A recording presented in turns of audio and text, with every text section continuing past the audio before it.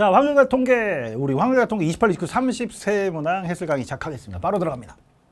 28번. 아, 문제가 좀 짧아 보여도 만만치 않아요. 왜냐면 어, 조건 사건이 두 종류인데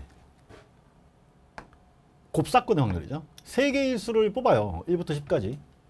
1부터 10이 그려져 있지, 않, 아, 그려져 있지 않네. 1부터 10까지 10개 자연 중에서 임의로 서로 다른 세 개를 선택해요. 그러면 전체 경우는 10C3이 되겠네요. 10개 중에 3개. 근데 이제 분자에 들어가는 경우의 수, 사건이 뭐냐면 선택된 3개, 3개의 수의 곱이 5의 배수이고, 이고, 또 3개의 수의 합은 3의 배수. 그냥 곱이 5배수, and, and, 합은 몇 배수? 3배수.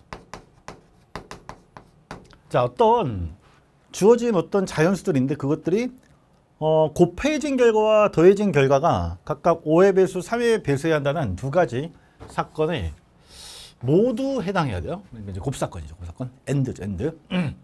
기준이 달라.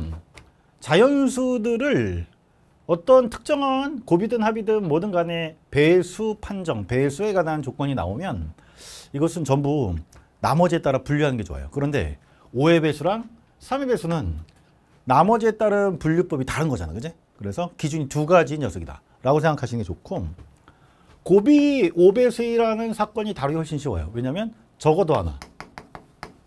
적어도 한 개가 5배수면 되는 거거든. 그지? 적어도 한개 5배수 5에 곱한 것 중에 하나만 5배수면 돼요. 5의 배수 누가 있나요? 5의 배수는 주어진 10개 중에는 5랑 10이 있는 거죠. 이렇게 확인하고 들어가고 어쨌든 기존은 3배수랑 5배수 두 가지가 있으니까 2차원 배합시다. 여러분 그 주어진 수들을 분류하는 기준이 두 개면 항상 2차원 배열 하세요. 3K 이걸 이제 이렇게 써볼까요? 3으로 남은 나머지가 1인 것. 3으로 남은 나머지가 1인 것. A1이라고 쓰자. A2 A0 이건 나머지가 0인 건데 3의 배수. 3의 배수가 맨 먼저 나오지 않고 3부터 나오니까 1, 2, 3부터 쓰려고요. A0를 뒤에 썼으면 나머지 3으로 나는 나머지가 0인 건. 여기는 어, B 뭐 이렇게 쓰지 말고 그냥 음, 5의 배수 아닌 것. 5배수 아닌 것. 왜냐하면 이제 5배수인 것만 잘 챙기면 되거든. 5배수인 것. 이렇게 5배수인 것. 이렇게 총 10개의 자연수를 2차원으로 두개 기준으로 분리합시다. 자 그러면 자 보세요. 이렇게 돼서 1 여기죠. 5배수 아니고 2, 3, 4까지 여기고요. 5가 이제 최초로 5의 배수로 그죠? 6, 7, 8, 9, 12 여기죠. 이렇게 아 10개 자연수 중에 나머지 3으로 나는 나머지가 1인 것이 4개 그 중에 5의 배수 1개 뭐 이런 식으로 일목요연하게 파악이 가능합니다. 이렇게 해놓고 시작하라고요. 자, 자 이제 합이 곱은 뭐 되게 쉬워요. 적어도 한 개 5의 배수니까 합이 3배수 나오는 각각의 경우를 다 찾아서 그 각각의 경우에서 적어도 한 개 5의 배수가 포함되도록 뽑는 수를 세자. 합이 3배수인 게 생각보다 경우가 많아요. 봐. 합이 3배수는 첫 번째 A1에서 3개. 왜냐하면 나머지가 1인 것을 3개 더하면 3의 배수가 되거든. 그러니까 A1이 3개. 마찬가지로 A2가 3개일 수도 있어요. 나머지가 2인 것이 3개여도 결국 3의 배수가 되니까요. 나머지가 같은 것들을 3개 뽑은 경우가 있겠네. 이렇게 그죠? 이것도 3개. 자, 또 나머지가 다른 걸 뽑으면 어떻게 되나요? 얘를 하나 뽑았는데 어, 나머지 1인 것과 합이 3이 돼야 나머지가 0이 되고 3의 배수가 되니까 얘 하나당 얘 하나야.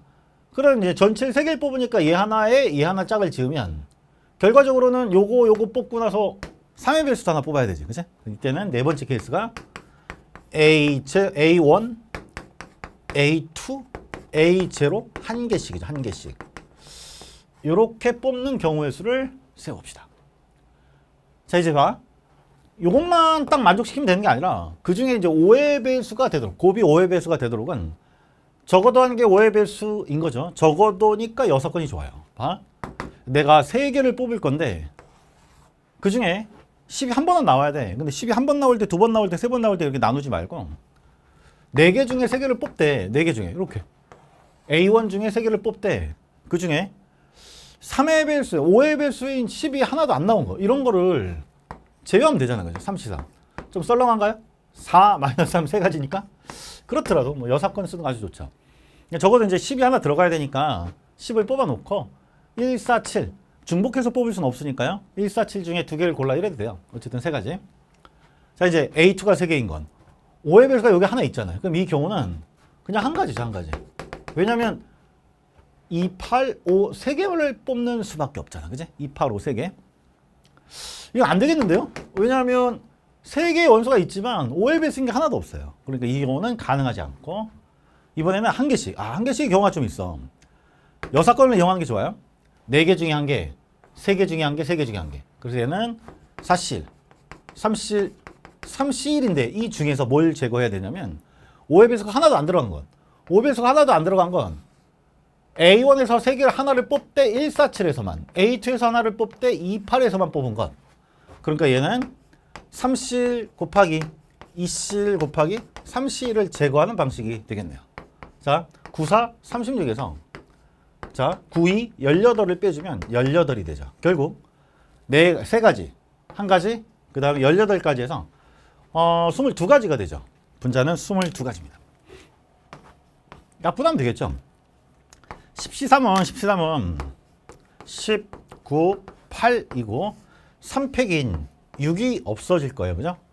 6을 약분해 주면 12가 남을 것이고 분자가 22니까 2로 한 번 더 약분해서 60분의 11이 정답이 됩니다. 괜찮죠? 정답 3번입니다. 여러분, 여러분들이 꼭 한 번 익혀야 되는 것 두 가지 기준으로 분류해 놓고 시작해라 라고 조언해 드리겠습니다.